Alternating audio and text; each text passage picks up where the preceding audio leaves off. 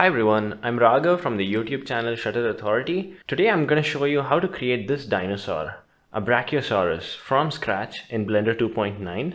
The sculpting tools in the newer versions of Blender have gotten really good and here are some of the other creatures I've done in the past with the same workflow. In Blender you can sculpt, you can retopologize, texture paint. Should be a lot of fun so let's go ahead and get started. The first step is to create a base mesh. We're going to use the skin modifier. Then we use Dyntopo to give it the basic shape. After that we retopologize with Quad Remesher. Then we UV unwrap the mesh, sculpting details with multi-res.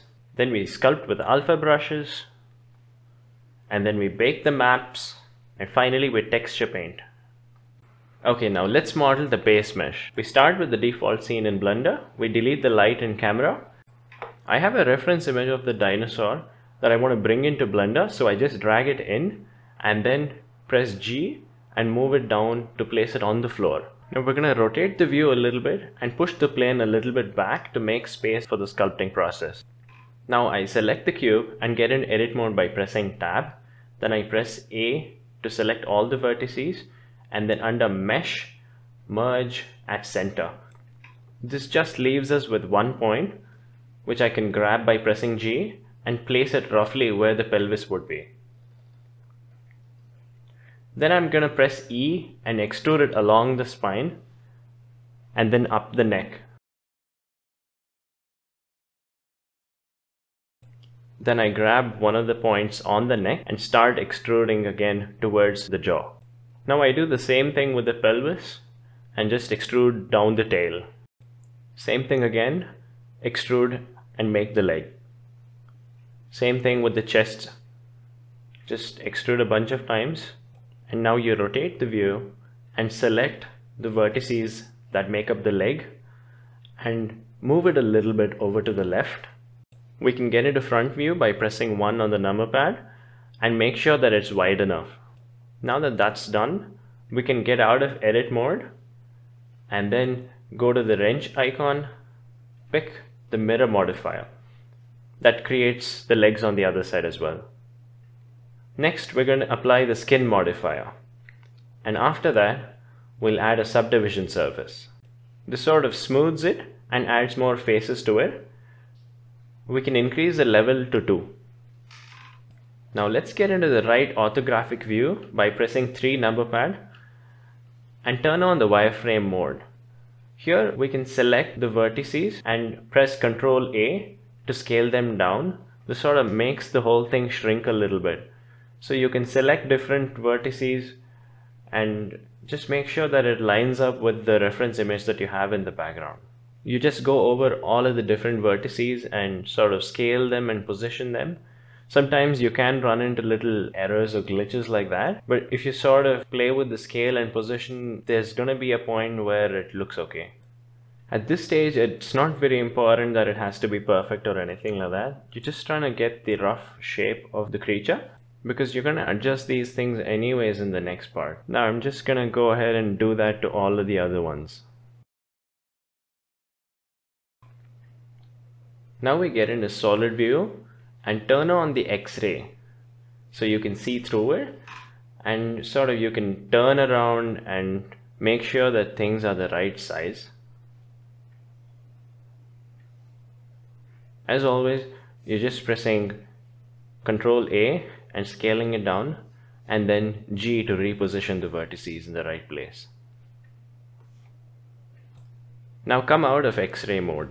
Okay, that's looking pretty good. When we're looking at it from the front view, we're actually facing the back side. So I want to rotate it 180 degrees. So I press R, Z 180 and under object, I can apply rotation. I can do the same thing for the reference image, R, Z 180. Now I'm going to go to the side view and press G to move it and line it up with the background image. This seems like a good time to save. Sculpting with dynamic topology. I'll start by applying all the modifiers, the mirror, the skin modifier and the subdivision surface. I'll turn on the background image, select the model and get into the sculpting layout. Here I'm going to turn on Dyntopo on the right side and change it to constant detail. I turn on the x-ray mode again and we're going to grab the snake hook brush and I can increase the size of the brush by pressing F and moving the mouse. Let's increase the resolution to about 20 and then we can start pulling and pushing so that everything lines up perfectly with the background image. So here I'm just using the snake hook brush and pushing and pulling it until it sort of lines up with the background image. I'm going to be in the side view the whole time.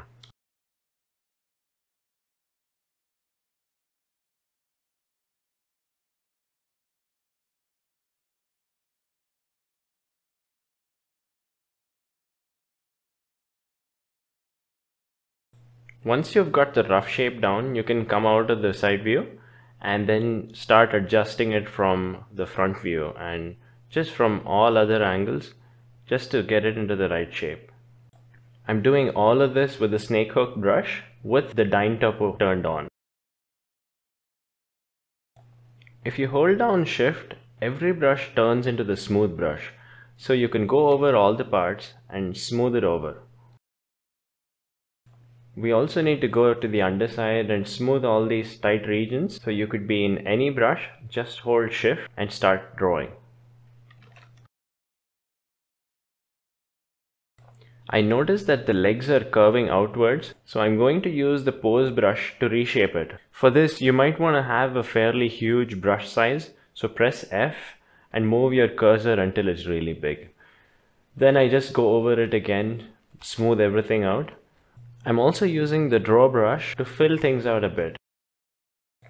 At this stage, I frequently switch between draw brush, snake hook, sometimes even grab, depending on the exact thing I'm trying to do.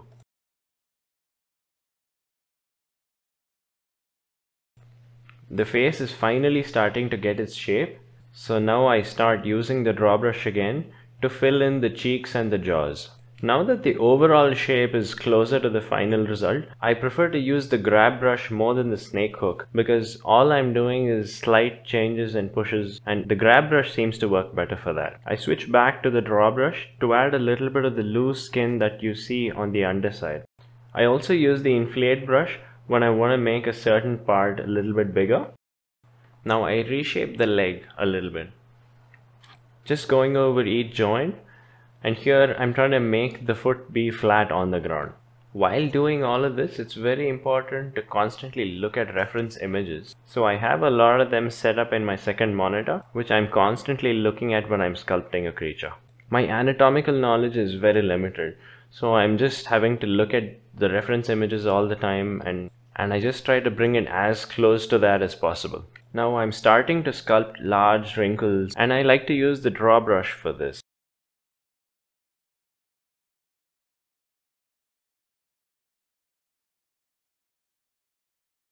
Now I'm using the crease brush to add some folds and creases in all of these tight spaces. At this point, you don't want to add too much detail either. You want to have only the larger details at this level. Now we're going to sculpt some detail on the foot. So I choose the mask brush and I draw where I want the nails or the hooves to be. Now on the top left menu, go into mask and invert it. Now if you sculpt using the draw brush in that part, it's going to come out like nails. Now I can invert the mask once again and hold down Alt and sculpt with the draw brush to push it inside a bit. Now you can go back into the mask menu and clear the mask. Okay, now I'm going to do the same thing for the back foot. I'll just fast forward this part.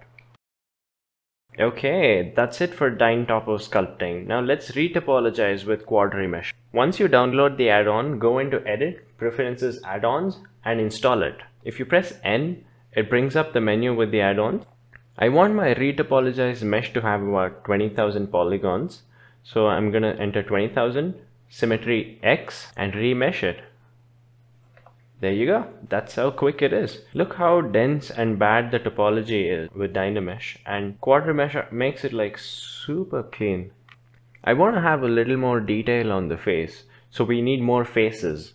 So I'm going to go into side view, turn on X-ray mode and I'll just box select a bunch of faces on the face. Now I turn off X-ray mode, right click and subdivide. There is a little bit of cleanup required, so I'm going to add the shrink wrap modifier, select the base as a target, change that to project and set it to negative.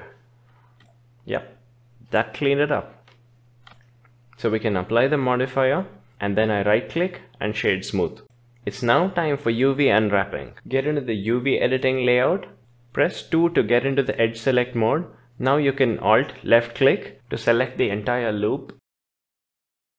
Now you can right click and select mark seam. Now you go over the rest of the model and look for areas where you can add loop like one around the neck.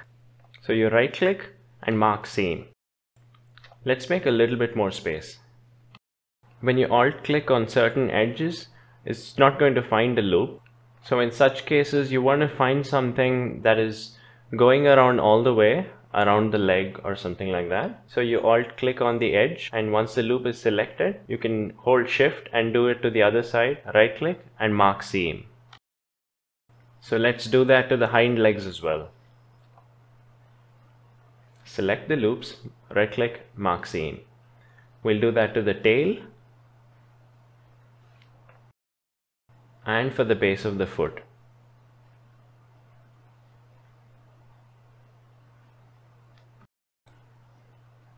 Do that for the hind legs as well. Alt click on the edges, right click, mark seam. I'm gonna go ahead and do it to the rest of the objects. One important thing to note is that when you have two loops marked as seams, you want to have a straight line connecting them. Ultimately, you should be able to unwrap it without running into any serious stretching problem. If there are things that you marked as seams and you want to get rid of them, you can select the edges again, right click and clear seam. I'm going to have one seam going around its mouth. Don't worry about doing a very accurate job. Since you're going to be hand painting it, it's not crucial that it is 100% perfect. If there are seams that you want to get rid of, select them and clear them. If you want to select a long line of edges like that, what you could do is just select one end and then hold control and select the other end and then right click and clear seam.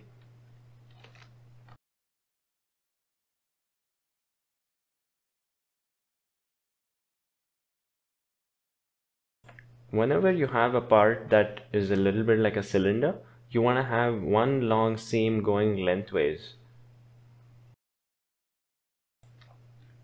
do the same for the other leg. You could actually speed this process up by cutting your model in half and then UV unwrapping only on one side and then using a mirror modifier to do it on the other side as well. There is one issue around the neck that I would like to fix. We have a series of five-sided faces called n-gons and these can cause problems when you're baking normal maps. So you select them using the lasso tool and then go into face and then triangulate faces. So this turns all of them into triangles. Then you can turn them back into quads. So what it does is some of them are quads and the rest of them are triangles and that should fix it. Now that we've done all the seams, you can select all by pressing A, U and unwrap. And your UVs should look something like this. Some of them are a little bit small, so you can select them by pressing L. You have to be in face select mode and then you can rearrange them. So I'm going to select all these small ones by pressing L and then I'll move them away to the bottom. So that gives me a little bit more space for the ones for the head that are here. So I press L and then G to move them. I can also rotate them by pressing R 90 and then S to scale it. Okay, that should be it. Sculpting details with multi-res. Select the low poly model and apply the multi-res modifier. Then you can subdivide it a couple of times. Keep an eye on the number of faces. For a character like this, I would have about 5 to 10 million faces. I think 4 levels of subdivisions enough. That's about 5.4 million faces. Now we get into the sculpting layout and use the crease brush to add a little bit of detail around the joints. As I mentioned earlier, you can press F and move the mouse to change the size of the brush. If you hold down control while sculpting with a brush, it's going to invert the effect. So the creases come outwards instead of going inwards. As I said earlier, it's very important to have a lot of reference images when sculpting detail. So you can constantly look at it and then do exactly the same in your model. Here I'm using the inflate brush to add thick folds of skin and wrinkles. I'm just frequently switching between inflate, draw and crease. So I'm going to fast forward this portion a bit.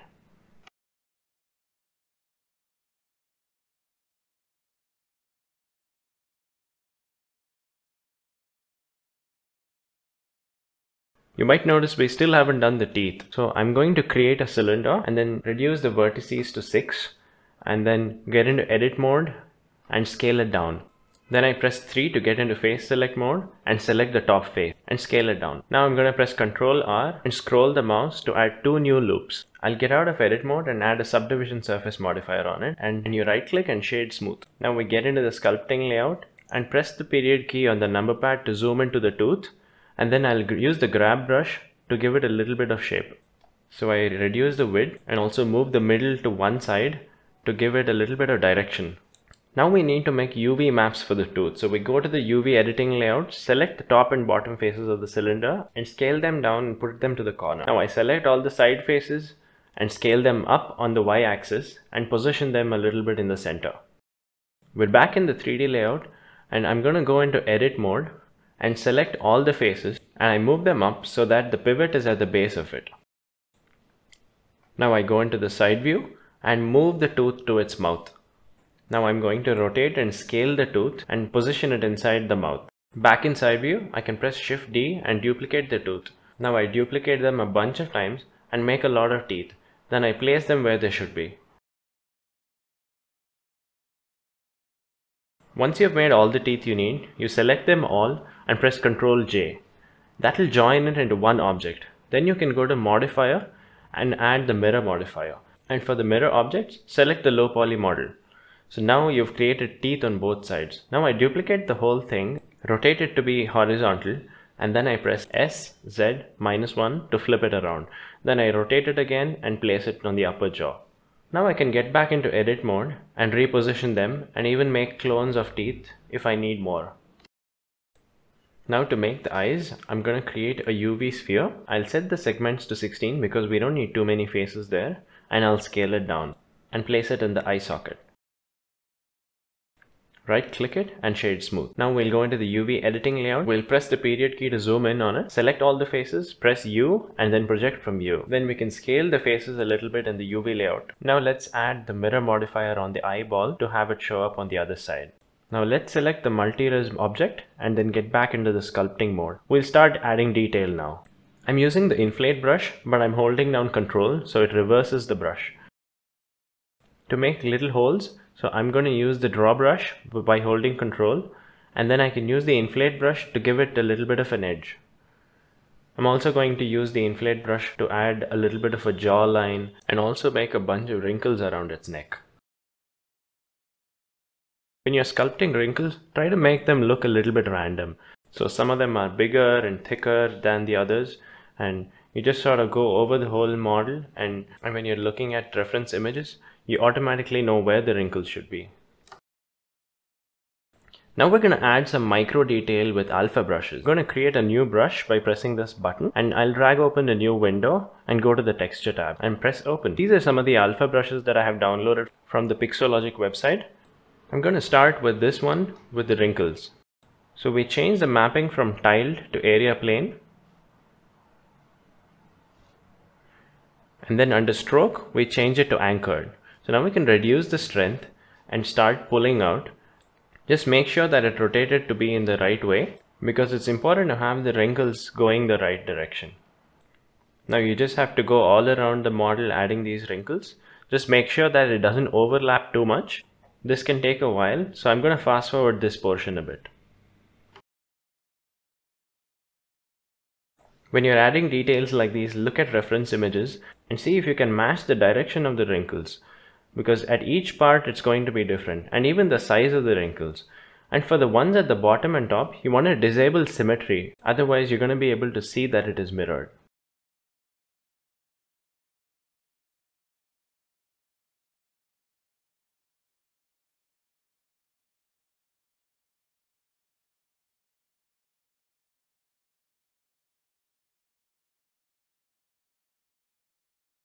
I'm going to change my alpha brush to a different one and use that to get some detail on the nail.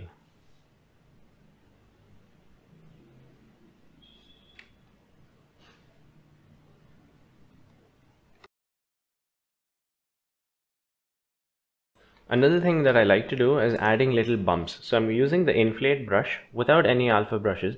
I just go around the model. You can also use the draw brush but just make sure it looks random. One thing I had forgotten was to make the tongue. So I'm going to create a new cube, get into edit mode and scale it down. Press Ctrl 5 to add a subdivision surface of level 2.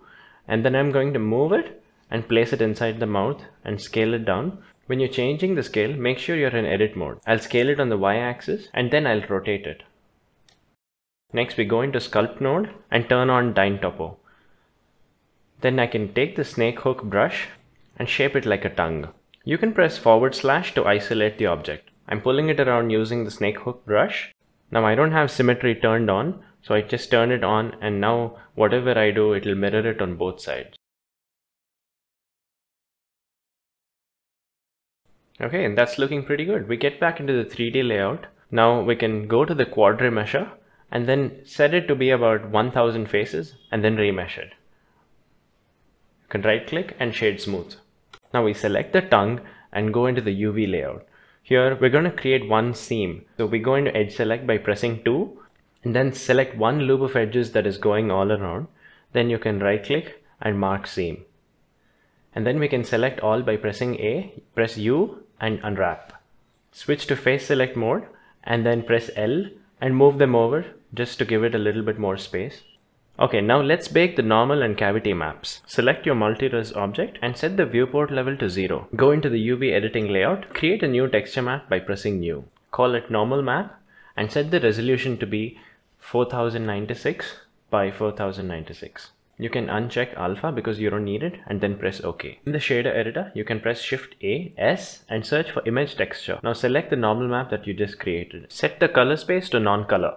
Now go into the render tab and switch to cycles. Now scroll down to the bake section and under bake, select bake from multi-res and then you can select your model and the texture and then press bake. There you go, you have your normal map. So basically what you've done is you've transferred all of that sculpted detail onto an image. Now you can go under image and save it out. A normal map like this will make your low poly models look almost exactly like your high poly model. You can plug the color into the normal map slot and then normal into the normal. If you go into look dev mode and make the base color a little bit darker, you can see that all of that detail is now visible, but this is the low poly model. This just has 25,000 faces but it looks exactly like the multi-res model that had 5 million faces. We could get a little bit more detail on the base mesh. So we can go to the multi-res modifier, go back to the highest subdivision level of 4 and under shape, press apply base. Now if you go back to the subdivision level of 0, you're going to see that it has been reshaped and this adds a little bit more detail on the low poly model. But now we have a few shading issues. So we're going to go into edit mode, select all by pressing A and under mesh, clean up, make planar faces. This flattens all the quads which had vertices which were not in one plane. So you can bake the normal maps once again. It's going to look slightly different because the base mesh has been reshaped, but you can choose which one you like better. Go ahead and save it out. Now let's make a cavity map. I'm going to make a copy of my multi-res object and rename it to multi-res and switch to the highest level of subdivisions, which is 4. So this is going to be your high poly object and on the other one, you're going to have it set to 0. Now let's create a new material for the high poly object. So press new and name the material HP material. Now I'm going to press shift A and create a new geometry node.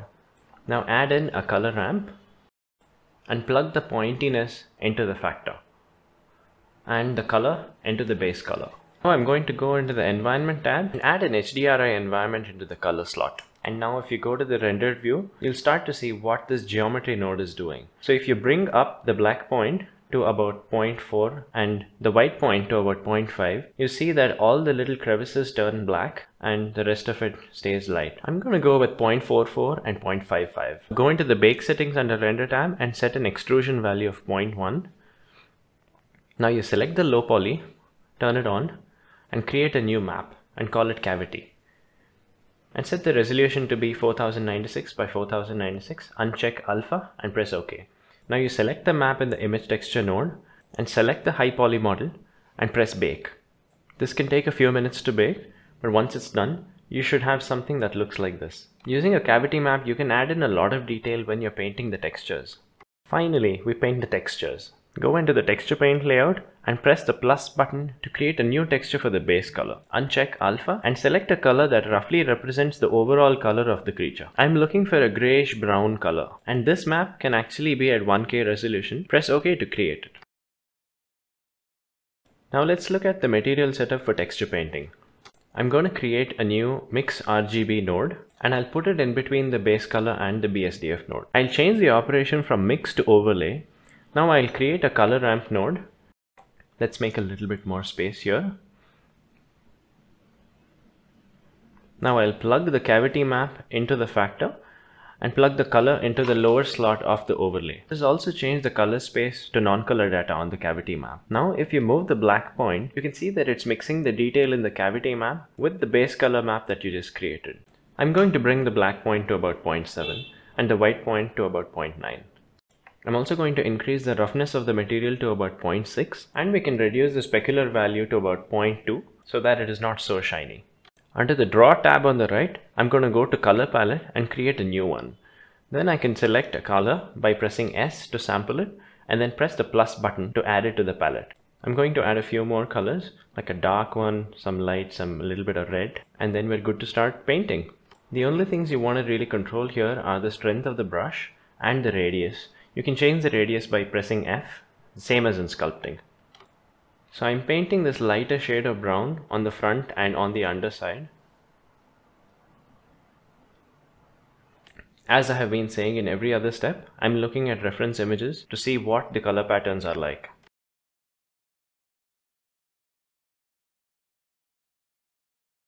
I choose a darker color and make it sort of dark around the eyes. And wherever there's a huge crease or fold, there's going to be some dark pigmentation. So I'm going to just go and brush a little bit of black on all of these parts.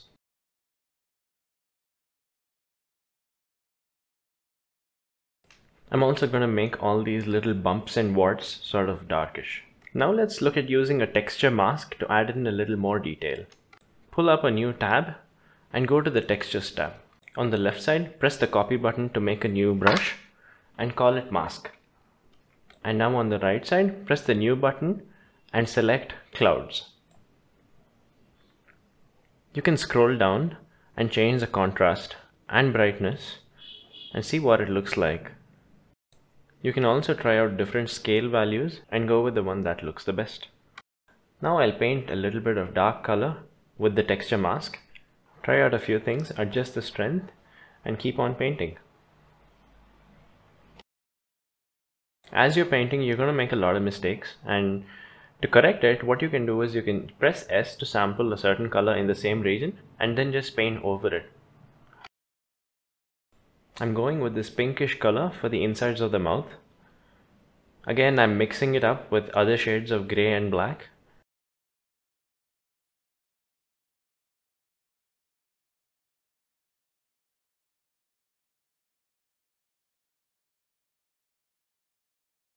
Okay, now let's texture paint the tongue. Select the tongue object, create a new material, and then create a new map. Rename the map and set the resolution to 5112 by 512. And you can uncheck alpha and give it a pinkish color. Press OK. Now in the shader editor, press Shift A, S and image texture. And then select the new texture that you created. Now plug the color into the base color of the material node and it's going to show up in the viewport. Now you can go ahead and paint on this object as well.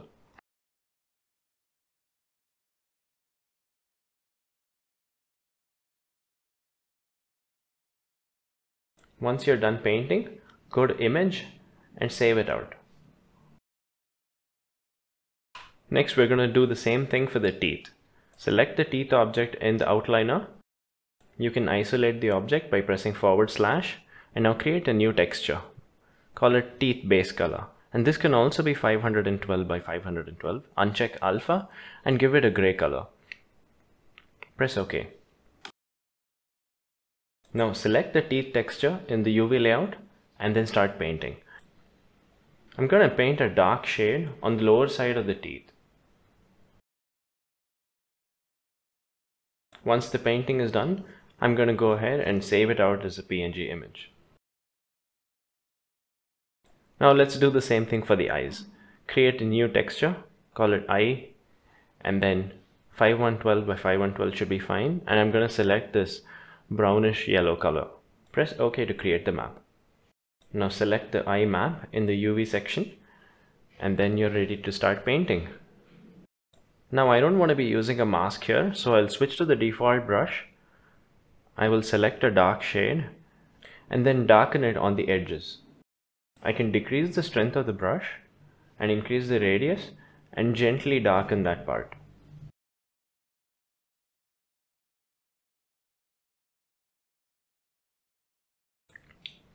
To create the pupil, I'm going to increase the strength to 1 and just make a nice dark circle in the middle of the eyeball.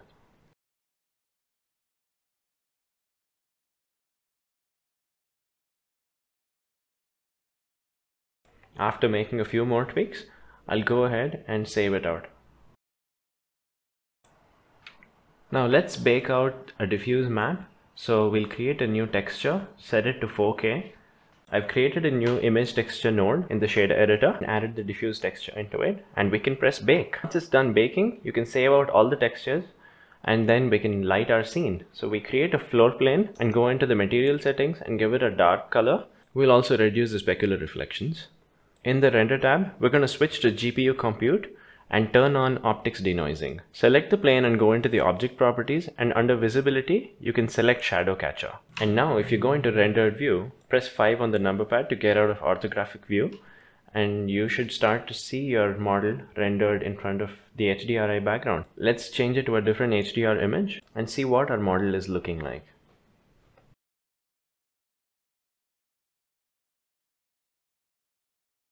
If you get back into the shader editor, you could actually create a roughness map for it by just duplicating the cavity map and the color ramp and plugging it into the roughness.